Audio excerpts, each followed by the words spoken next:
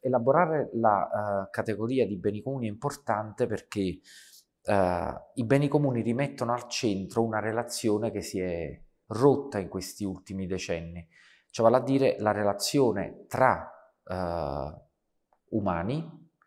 e la relazione tra umani e non umani, dove nel regno dei non umani rientrano le cose, rientrano le altre specie, rientrano i microorganismi che lavorano la terra, il mare. Uh, beni comuni significa rimettere al centro uh,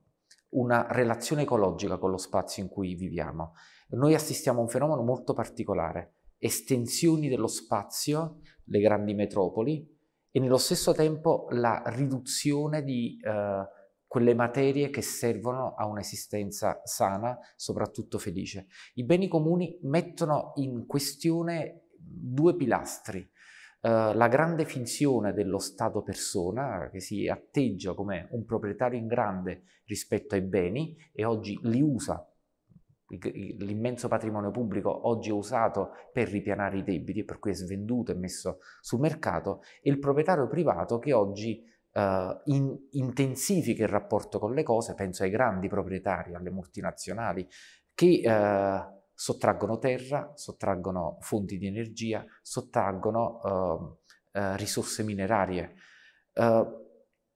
insistere con i beni comuni significa individuare alcuni beni che sono funzionali all'esercizio di diritti fondamentali, che sono esattamente quella categoria che oggi è messa sotto attacco dalla espropriazione costante di spazi e di materie funzionali a questo esercizio. La categoria dei beni comuni non va intesa però come in modo tassonomico, non è un elenco di beni. La categoria dei beni comuni è un dispositivo ermeneutico che può servire ai consociati, come si dice tecnicamente, e a chi ha il potere legislativo, per cui, per semplificare, dal basso e dall'alto, può servire a individuare quali sono quei beni funzionali all'esercizio dei diritti eh, fondamentali. Una volta individuati, eh, e quasi sempre sono individuati da comunità che intorno ad alcuni beni esercitano il diritto anche fuori da quello che viene inteso eh, come ordinamento legale. Eh, una volta individuati vanno capite come le comunità eh,